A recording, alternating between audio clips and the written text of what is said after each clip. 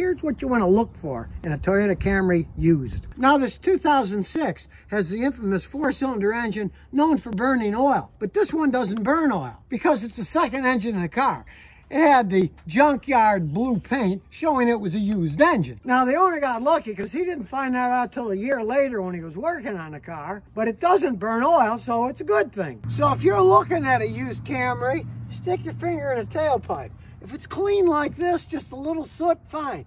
But if it's oily, it's an oil burner, don't buy it. So sure, Toyota Camrys, great used cars. If you know what you're looking for.